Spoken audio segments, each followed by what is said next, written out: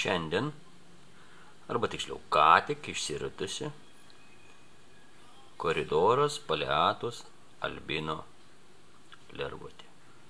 Nu, kelių valandų bėgi.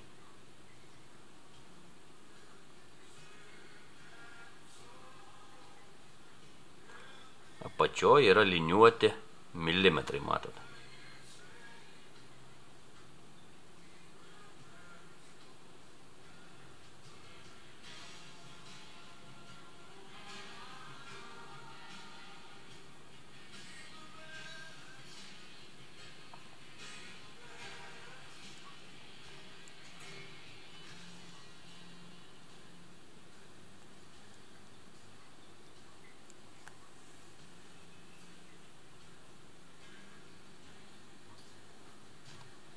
Pajudinau Petro lėkštelę